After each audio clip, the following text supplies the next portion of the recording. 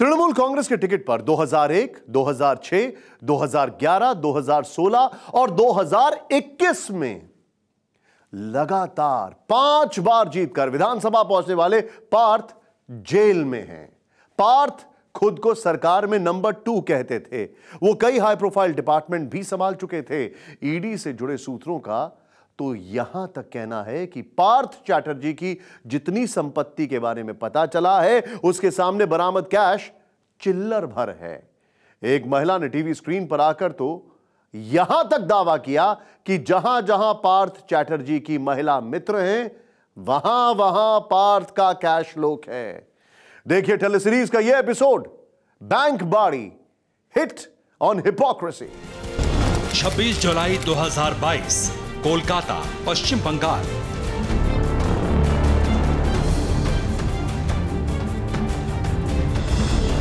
TV nine Bharatvarsh के reporter Kolkata के बेलघरिया में थे। उनकी नज़र एक खास पते पर थी। जैसे ही 19 नवाब अब्दुल लतीफ स्ट्रीट आई, रिपोर्टर के कदम ठहर गए। ईडी को मिले दस्तावेजों में यह पता अर्पिता मुखर्जी की एक company Symbiosis Merchants Private Limited का था। लेकिन यहाँ ना तो कोई कंपनी थी ना कोई ऑफ़िस। एक जर्जर मकान था बिल्कुल शांत सा। हमें नहीं पता था कि इस खामोशी को जो आवाज़ तोड़ेगी वो अर्पिता मुखर्जी की माँ की आवाज़ होगी। आप अर्पिता की माँ है? आप माँ है ना? काई के कब्जे वाले इस मकान में लोहे की दस सीढ़ियाँ चढ़ने के बाद हमें मिंती मुखर्जी मिली अर्पिता की विधवा माँ।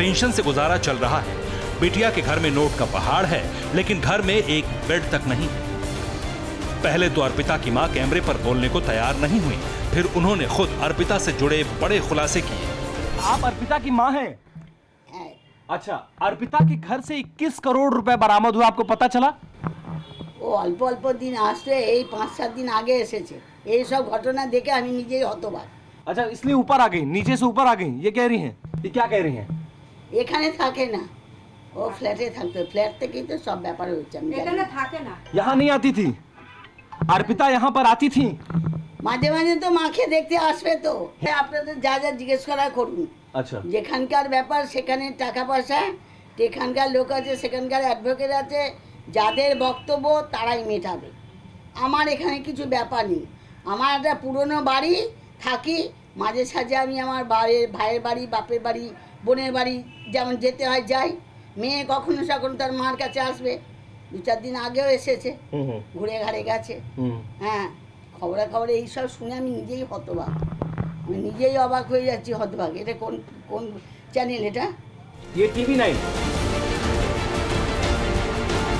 इस बातचीत के एक दिन बाद अर्पिता के कैश लोक से जुड़ा सबसे बड़ा खुलासा हुआ ईडी की टीम ने अर्पिता के बेलघरिया वाले फ्लैट पर रेड मारी तो उनतीस करोड़ कैश और पाँच किलो सोना मिला। यानी ईडी की टीम को अर्पिता मुखर्जी के दो फ्लैट से 50 करोड़ से भी ज़्यादा सिर्फ़ कैश मिला। अब सवाल है, आखिर एक एक्ट्रेस महा घोटाले में कैसे शामिल हुई? पार्थ चैटर्जी से उसका रिश्ता क्या है? और सबसे बड़ा सवाल कि अर्पिता के पास अभी कितने करोड़ रुपए और हैं? बेलघरिया के मिडिल क्लास परिवार में जन्मी अर्पिता को कॉलेज के दिनों से ही मॉडलिंग का चस्का लगा। पिता की मौत के बाद अर्पिता को उनकी जगह सरकारी नौकरी भी ऑफ़र की गई। कहा जाता है कि झारग्राम के एक बिजनेसमैन से अर्पिता की शादी भी हुई, लेकिन ग्लैमर वर्ल्ड में नाम चमकाने के लिए अर्पिता ने नौकरी और पति दोनों को छोड़ दिया और 2004 में कोलकाता आकर मॉडलिंग शुरू कर दी। 2008 और 2009 में अर्पिता ने बांग्ला फ़िल्मों के दो बड़े सितारे, जीत और प्रसेनजीत के साथ फ़िल्में की। उड़िया फ़िल्मों में भी अर्पिता ने हाथ आजमाया, लेकिन कामयाबी नहीं मिली। पार्थ चैटर्जी, नागतल्ला उद्यन संघ नाम की पूजा कमेटी चलाते जिससे अर्पिता जुड़ी हुई थी। इसी वजह से अर्पिता पार्थ चैटर्जी के साथ संपर्क में आई पंडाल पूजा के लिए बने फ़ोटो एल्बम में अर्पिता और पार्थ की कई तस्वीरें मौजूद हैं। ये जो इतने सारे लड़कियों का नाम मैंने अब अगर वेस्ट बंगाल का मैप आप सोचेंगे तो हर एक जगह एक प्रॉपर्टी हर एक जगह एक लड़की हर एक जगह ये हमको बहुत पजल रख दिया। हम हम ना एक, एक मैंने मेरा पीएचडी का विषय था एनलाइटनमेंट तो हम बहुत गर्व से सबको कहते थे कि दूस, दूसरी जगह जब जाते थे कि हम हम लोगों के बंगाल के शिक्षा क्षेत्र आगे बहुत आगे है।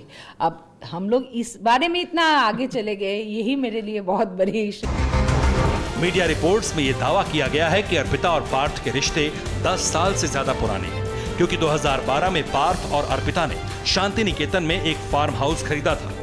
टीवी नाइन भारतवर्ष को अर्पिता की ब्यूटी चेन के बारे में पता चला। छह से ज़्यादा आउटलेट्स तो सिर्फ़ कोलकाता में थे।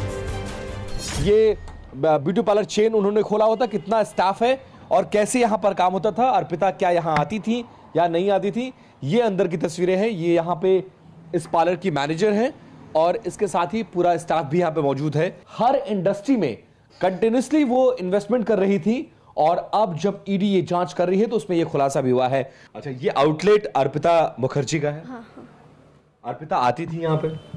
कभी कभार महीने में दो बार तीन बार। महीने में दो बातें कितनी देर यहाँ पर रुकती थी? पंद्रह से बीस मिनट तक। वैसे ईडी की जाँच में पार्थ चैटर्जी की छह से ज़्यादा महिला मित्रों का नाम सामने आया है। सूत्रों के मुताबिक पार्थ चैटर्जी हर महिला मित्र को महँगे गिफ्ट, गाड़ियाँ, फ्लैट और कैश देते थे। ये सभी महिलाएँ ईडी के रडार पर हैं।